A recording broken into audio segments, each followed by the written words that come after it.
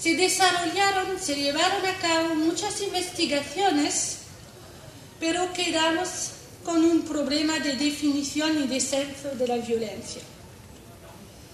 La comunidad científica ha alcanzado un consenso sobre, y más particularmente acerca de la definición más general de la Organización Mundial de la Salud, que dice que la violencia es cualquier daño psicológico o físico que impide el desarrollo o genera daños psicológicos, físicos a unos individuos o a grupos de individuales. La violencia siendo definida como algo voluntario. Entonces, sin embargo, quiero decir, permanecen diferencias. Diferencias porque en distintos países pues, se puede hablar de violencia, en otro no es políticamente correcto, de acoso, para otros son conflictos, abuso, bullying, delincuencia juvenil. Esto resulta en dificultades de comparación y confusiones a veces. En Europa predomina el concepto de school bullying, es decir, violencias repetidas, intencionales, al encuentro de, individuo, de un individuo por parte de una persona o un grupo de personas. Violencia intencional repetida que, hace, que está basada en un desequilibrio de poder y hace que la víctima tiene dificultades en defenderse. Pero esta predominancia, aunque el problema consideramos todo sea un problema mayor que tenemos que tratar de prevenir y reducir por las consecuencias muy graves que puede generar, ha creado una confusión porque existe una confusión entre school bullying y, y violencia escolar. Lo que quiero decir es que los términos school bullying se han diseminado y son utilizados para hablar de violencia puntual y de violencias que ah, no solo son entre los alumnos, pero también de adultos a alumnos o de adultos entre ellos. Y hay una confusión semántica que hace que cuando se conversa con colegas o con, se investigan en, en, los centros educativos, a veces uno nunca sabe de qué se habla. Se habla de violencia repetida, se habla de acoso o se habla de violencia. Y esto no lo hemos arreglado todavía. Ah.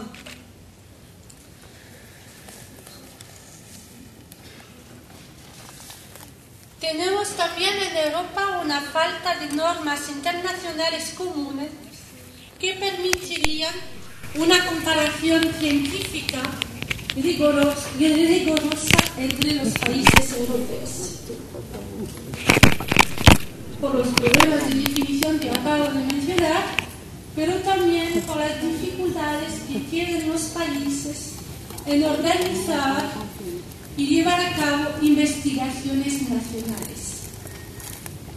Cuando existen estas investigaciones, son puntuales y a menudo son encuestas de victimización reportadas y pocas investigaciones se dedican en saber también sobre la delincuencia autorreportada en los centros educativos.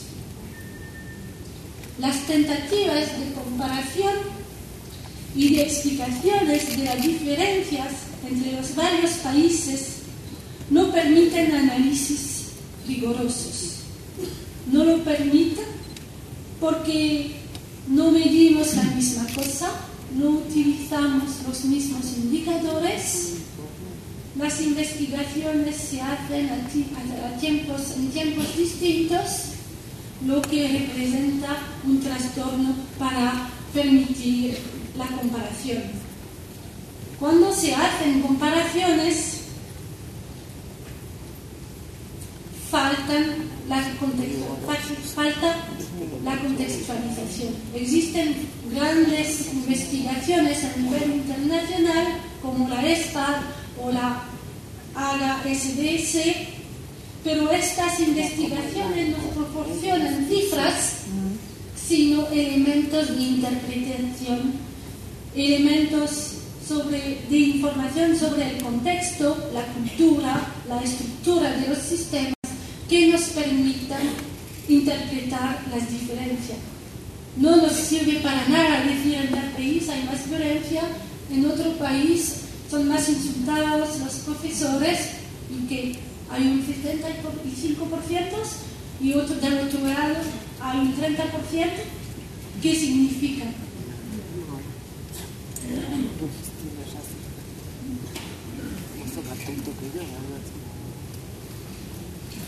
En cuanto, como lo decía, voy a, hablar de la aproximación psicológica y en cuanto a esta aproximación psicológica, el desarrollo del concepto de Sculburin por Orvius empezó en los años 70 en Europa del Norte a consecuencia de los suicidios de unos jóvenes que dejaron testimonios diciendo que no podían soportar, soportar la vida más por el acoso, hostigamiento que sufrían en el centro educativo, en el centro escolar.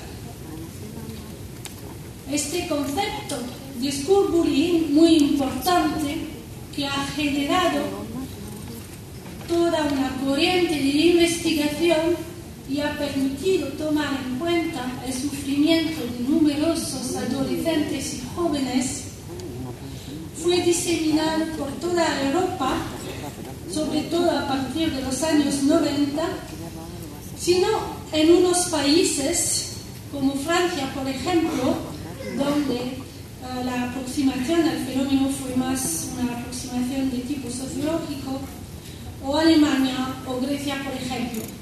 En otros países fue más largo el tiempo antes de que ah, las autoridades y los profesionales puedan hablar del fenómeno que seguía siendo tanto. Las investigaciones se dedicaron sobre todo en tratar de determinar cuáles eran las características de las víctimas y de los agresores pero también ah, de los testigos y las consecuencias a nivel individuo. La importancia dada al fenómeno se explica por sus consecuencias sobre los individuos, consecuencia a nivel de su rendimiento académico, a nivel de ansiedad, de estrés como lo decía, a nivel más graves, como problemas de depresión crónica hasta el suicidio.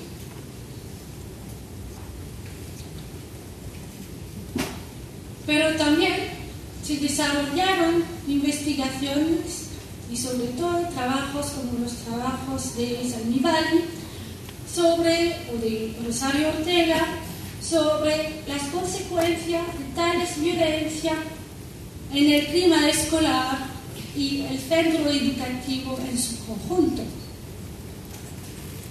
Además, las consecuencias de tal victimización, de tal violencia, no solo afectan a los jóvenes, pero perduran también en la vida adulta, las víctimas teniendo problemas luego para relacionarse socialmente a otros, para integrar el mundo laboral y a confiar a los otros.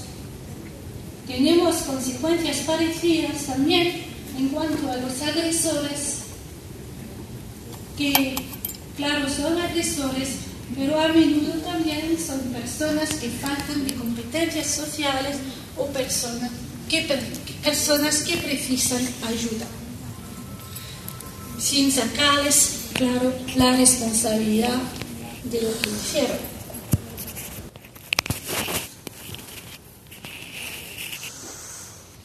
El acoso escolar, cuando no es tomado en cuenta por los adultos, puede contribuir también en eventos más grandes. Nos acordamos los masacres de los Estados Unidos cuando se investiga por qué estos jóvenes, los agredores, fueron tan violentos, se entera que tienen historias de ostracismo, de aislamiento social, de sufrimiento y de malestar. Las investigaciones europeas uh, concluyen, por la mayoría, que en Europa ahora existen un 4% y un 6% un 4% a un 6% de alumnos hostigadores y entre un 6 hasta un 15% de víctimas. Se acuerda la comunidad científica para decir que son 5% de los niños, de los jóvenes, que son víctimas regulares, víctimas uh, en situación de peligro fuerte. Estas investigaciones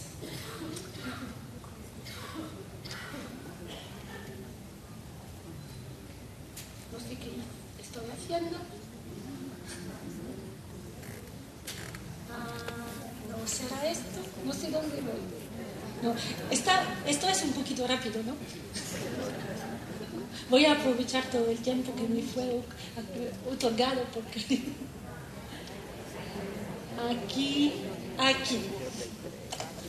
Estas investigaciones científicas daron lugar al diseño de programas de intervención para tratar de prevenir y reducir el fenómeno. No voy a citar todos estos programas, sino los principales, el programa Bullying, Orbeus Bullying Prevention, el programa de Cristina Salmivali y su colega Posquiparta, el programa Kiva, por ejemplo, el programa de ah, nuestra colega Humor, el Anti-Bullying Center programa, el programa de nuestra colega Rosario Ortega, el SABE Sevilla Antiviolencia Escolar o el ANDAVE Andalucía Antiviolencia Escolar con su compañera Rosario de Rey. Estos programas evaluados estamos siguiendo, esperando unos resultados sobre la evaluación del programa de Cristina, pero Cristina, pienso, va a presentar su trabajo eh, más tarde durante esta conferencia, entonces no voy a hablar. Ah, estos programas se mostraron eficaces en Europa y tuvieron resultados muy interesantes en la reducción del acoso escolar. Tienen las características siguientes, que son programas que tratan de incrementar la empatía en los agresores, agredores, desarrollar las competencias sociales y promover conductas prosociales. Proponen actividades de resolución de conflictos, mediación, tratan de incluir a los padres y proponen, actividades a las cuales los jóvenes pueden participar de modo activo.